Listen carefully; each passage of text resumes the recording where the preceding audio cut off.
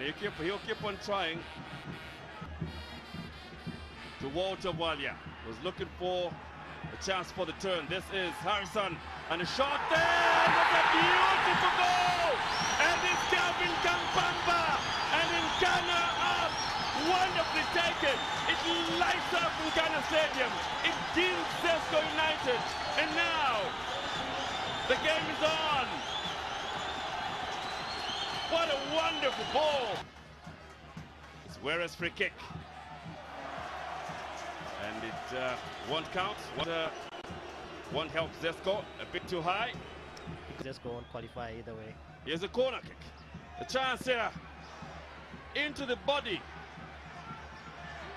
Zesco fluffing in the wrong. T minus not the round. Jesse a round by Jet. Has a nice chance for Osmanu. The Ghanaian misses. Would you believe that?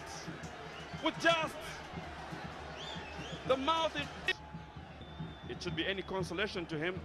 And it's in! Satya Satya Kampamba! Ronald! And Jacob Banda would rather stay rooted. A blast past Zesco United. And it's a mercurial, unseen. You never know where it's coming from.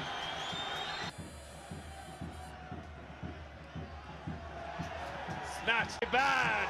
And it's goal number three. It's Shadrach Musonda. He came off the bench in the 75th minute and he makes it goal number three.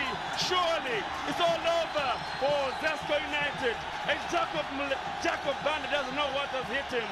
And it's so bad there for Zesco. It's written. And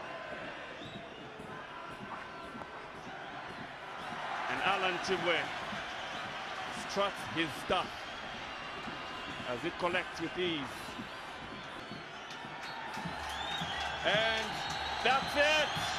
Nkana claim the three points and they move to the top of Group C in the 2018-2019 CAF Confederation.